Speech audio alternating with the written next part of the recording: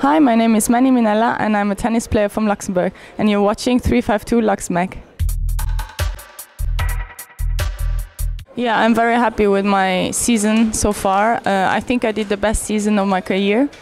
I had really good results, maybe not a big one like US Open on, in 2010, but um, they, they were uh, all year long, so I have the best ranking by now, so that's by far my best season.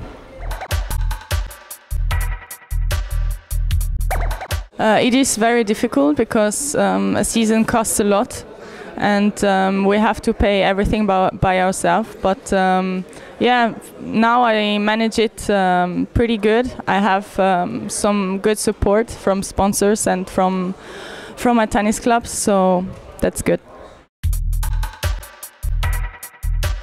It's more difficult to play at home because you want to do good. There is the family and friends coming because you have more tension. But um, yeah, I'm looking forward to playing Luxembourg all the time because it's something special and I want to do good. And the day where I will do good, it will be even better than doing good in another tournament around the world.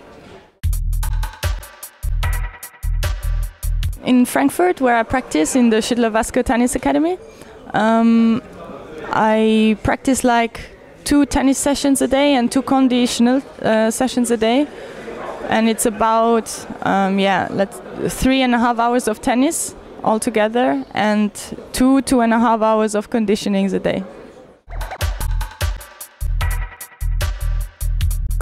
Um, I think in tennis you cannot see it so much because um, women's tennis is very popular, I think, and um, they don't compare us too much to the men's. So I think we don't have that problem so much uh, in tennis. I think I was five. Uh, I started in my hometown club, and um, yeah, I just continued playing like maybe once or twice a week, and it just got more and more uh, through the time. For me, it was Steffi Graf. Thanks to her, I really play tennis and I watched her when I was uh, a kid, and I wanted to play like her. So um, I think she helped me a lot continuing uh, with tennis. I really liked her, her, attitude. She was so classy, and she was uh, number one. She she was just the best for me. I think he has the most complete game.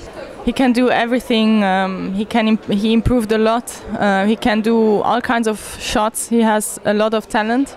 So I would say he's pretty much uh, that one. For me, the reason why I play tennis is because I want to win matches, because I want to get better, because I love competition. So uh, in the beginning, I think it's because of the tennis and of the competition, the wins. But when you get older, of course, you want to make also some money uh, for living you you know that when you play really good, uh, you can earn a lot of money, which you can't maybe in another um, job or whatever. So I think it's pretty much both.